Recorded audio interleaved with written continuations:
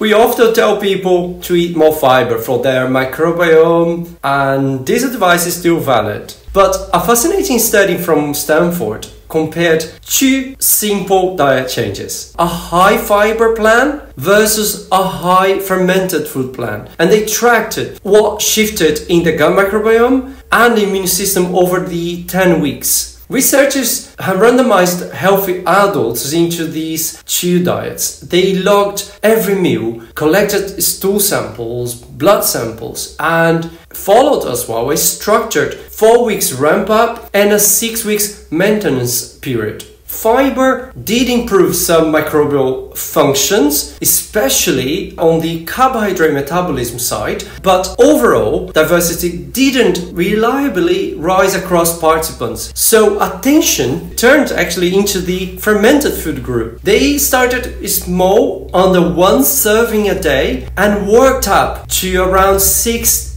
daily servings. That included yogurt, kefir, fermented cottage cheese, kimchi, sauerkraut, kombucha, vegetable brines. Then they eased up into a personal maintenance rhythm as well. The gradual schedule looked like this. Week 1 till 2. 1 to 2 servings a day. Maybe yogurt at breakfast and a spoonful of kimchi at lunch. Week 3 to 6 three to six servings daily, rotating types as well, and keeping added sugar minimal. Maintenance was one to three servings a day with as much variety as possible because diversity matters as much as quantity. By week 10, participants in the fermented food group showed much higher microbial alpha diversity and reduced 19 inflammatory markers, including interleukin 6. That is a strong signal that small, consistent fermented food can modulate the immune system and calm systemic inflammation within weeks. So, while fiber remains obviously essential. It's the living foods, those rich in microbial communities that may nurture our own microbiome towards more resilience. I've created a free fermented food guide to help you all here to get started.